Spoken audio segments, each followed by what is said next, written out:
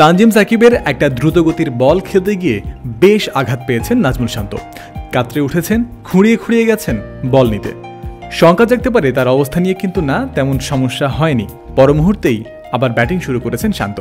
স্বাভাবিকভাবে কাটিয়েছেন অনুশীলনের পুরোটা সময়।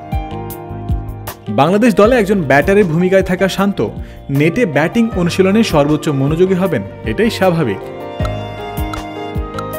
আরও একজনকে এদিন ব্যাটিং অনুশীলনে বেশ মনোযোগী দেখা গেছে। তিনি হলেন মেহেদি হাসান মিরাজ। ইংল্যান্ডের বিপক্ষে ম্যাচের আগের দিন নেটে লম্বা সময় ধরে ব্যাটিং করেছেন এই অলরাউন্ডার। কারণ টপ বা মিডল অর্ডারে তার কাছ থেকে এখন সেরা সার্ভিসটাই চায় দল।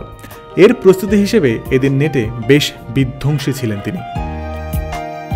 কারাপ্পাক জিয়াসের বলে উড়িয়ে মেরে ছক্কা আদায়ের চেষ্টা ছিল কিন্তু সোজা ওপরের দিকে উঠে যাওয়ায় এটা ক্যাচ হওয়ার কথা এরপরেও মিরাজের দাবি, আউট তো নয়ই, এটাও হবে। ছক্কা। মজা বুঝতে পেরে বোলারও হাসি দিয়ে দেখিয়েছেন ছক্কা হওয়ার সিগন্যালই।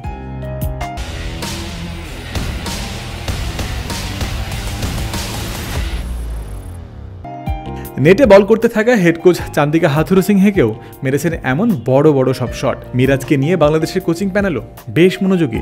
নেট সেশনে ব্যাটিংয়ে গিয়ে প্রথম কয়েকটা বল খেলার চেষ্টা করেছিলেন ধীরে সুস্থে। শুরুটা হয় এভাবে, বিট হয়ে। তখনই পাশে থাকা টেকনিক্যাল কনসালটেন্ট শ্রীধরন শ্রীরাম এগিয়ে এসে তাকে নির্দেশনা দেন। সেটা মেনে মিডল অফ দ্য ব্যাটে খেলেছেন এমন শট ছক্কা হবে এমন আরেকটা শট খেলার পর হাথুরু কিছু একটা বলছিলেন তাকে। জবাবে মিরাজও দেখালেন কোন এরিয়া দিয়ে ছক্কা হতে পারে এটি। ইদানিংকালে লোয়ার অর্ডারে মিরাজকে খুব একটা ব্যাটিংয়ে দেখা যায় না। টপ বা মিডল অর্ডারে নামিয়ে তার উপর যে ভরসা দেখানো হচ্ছে, তেমনি তিনিও রান করে দিচ্ছেন ভরসার প্রতিদানটাই। আর বল হাতে তিনি ভালো করবেন, সেটা যেন অবশ্যম্ভাবী।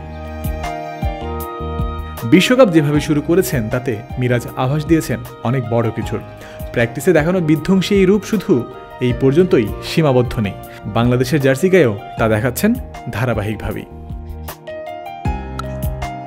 জয়ন্ত বিন্দু ক্রিকফ্রেন্সি